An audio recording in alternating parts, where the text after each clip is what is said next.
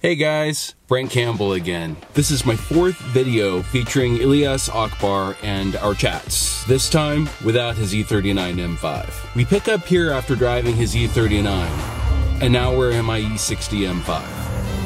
Here I start up the M5 from coal and make a few cracks about its lousy fuel economy. And then we jump to Ilyas driving the beast for the first time, where I give him a quick overview of what he's gotten himself behind the wheel of. And then he presses the M button. I tell him about the car's insane capabilities, and to illustrate, I throw in some classic Top Gear clips with Jeremy Clarkson and Fifth Gear with Tiff Needell driving the E60 M5 back around 2005 when it was the latest and greatest for Munich. Then Sreten from M539 restorations, topping out his Project Raleigh E60 M5 manual 6-speed at 205 miles an hour on the Autobahn. Great stuff. From there, and admittedly a bit off topic, I tell the story of when Mentor Jack insisted I drive his brand new V10 M5 minutes after exchanging vows with my wife. Finally, I show a few highlights from footage Jack and I captured years ago with his i8, Alpina B7, 90, 100, and Hellcat.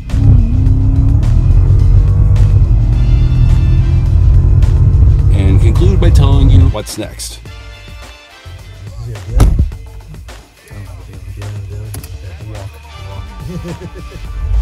Driving is for special occasions. Again, just so listen to me.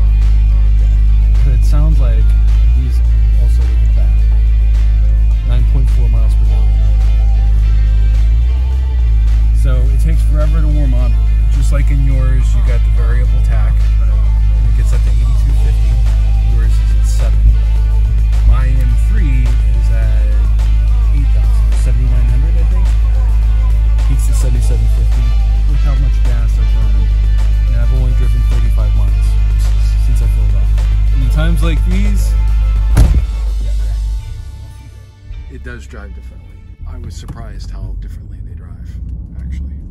Yeah. Which is part of the reason why I think it's cool that you're to drive it. How long have you had your car? Like five years? Um, I've had it since 2016. Okay. All right, right now it is in regular mode. Okay. So this car weighs the same thing, same as yours. It's about 4,000 pounds. Currently, it's producing 400 horsepower. It has a six-speed manual gearbox. Should be very similar to yours, but it's not, is it? It drives differently. You'll get a better sense of that in time. Like the way that it drives, it doesn't have the same feel. I think the V8 is even smoother. Really? Yeah. Where this thing really comes alive and you appreciate its brilliance is, above, you may be scared to explore because when you do that, it's explosive. You gotta have a long stretch in front of you, or else you're gonna get in trouble. The button on you, just up, next one up. Yep, that one. You press that button, and then the suspension tightens up, throttle response tightens up. After you've pushed this button, the engine is no longer producing 400 brake horsepower. It's producing 507. When you want to see the difference, press the button. I'm enjoying the sound of that wail. Yours has a rumble. This has a wail.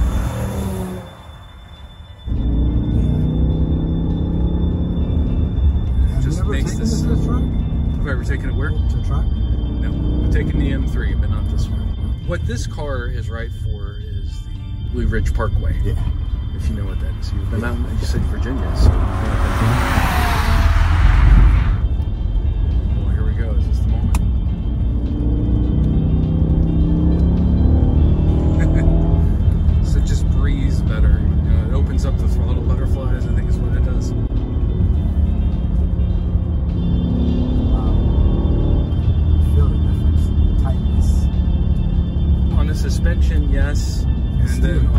Throttle, it's just this sort of boundlessness. It's like, oh, I can just keep going and going and going, can't I? Germany, and you don't have the chip on it. Go from zero to 205 in 55 seconds. So it just accelerates furiously. But around town, you don't really it's, it's you know really strongest like 60 to whenever you're gonna chicken out. Now I see the, the bolsters. Uh, I love that. Oh yeah, well, that's when you press the M button. That's another thing. Wow. It keeps you in place. Yeah. That's awesome. It's pretty clever. It actually makes sense. The first time I drove one of these is the night I got married. My mentor Jack had one, and I didn't know. He's he's a car guy. You know, he has I don't know six to ten cars, and gets whatever the hot new thing is. So he's got a 911 turbo. No, 911 S. Man, that thing's fast. He said, "I got something you need to see." after I exchanged vows and you know we gave each other a big hug. So it's like, all right, yeah, let's go look. I literally just exchanged vows. And my wife does not understand this fascination with cars. And I don't think she realized because I didn't have a car when we met. Because you know I've lived in Manhattan. And when she saw that I basically ditched the wedding to go drive this car, she was not happy. But it was worth it you know, it didn't take long. His had the SMG, of course, because they didn't even have him in the manual yet. I just couldn't believe that the car could do what it could do. It was just, especially with the SMG. I'd never driven an SMG before or anything like it. It's just this assault of, of power. And, and like we were going around corners in a sedan. I was like, this car should not be able to move like this.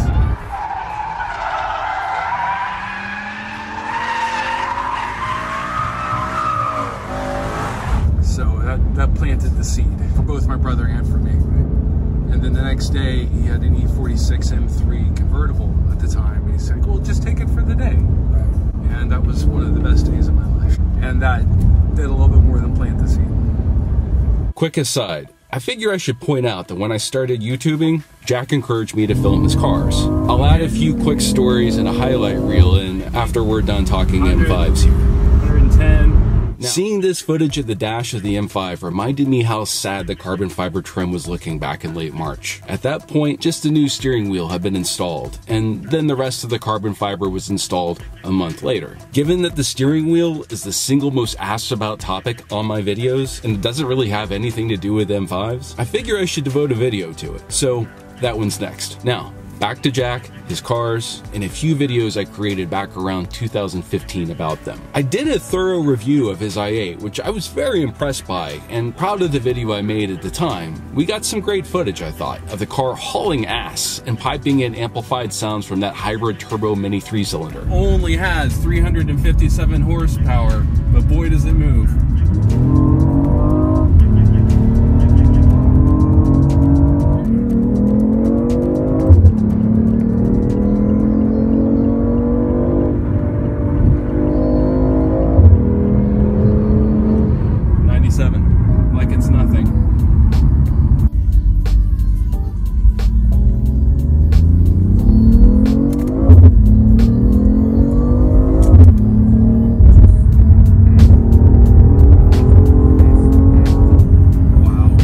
Have the power when you Now there's nothing. want it. Now we're in electric motor. And then when you're just cruising down the street and you're not going to enjoy yourself anyway, it's nice and quiet, comfortable, and you're getting what? What's the fuel economy that we're getting right now? It says 24.5 up here. That's so you've averaged 24.5. but I've driven the crack.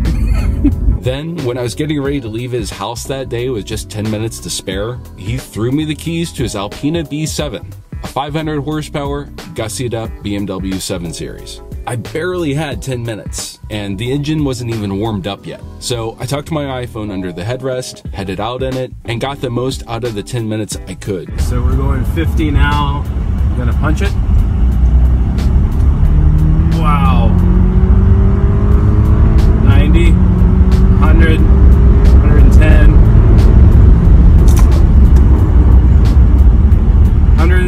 This is a fast car. It wasn't much, but I posted it anyway. And now that video has been watched nearly 60,000 times. And seven years later, it still gets watched, which is more than all but a handful of the many videos that I spent countless hours tinkering over. Go figure. And though I never got to drive his Hellcat, I captured my daughter firing it up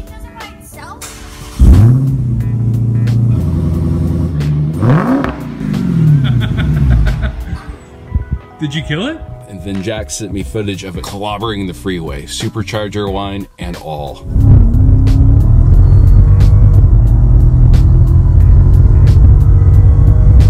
Wow. Thanks for indulging me. As always, please subscribe for more, and thanks for watching.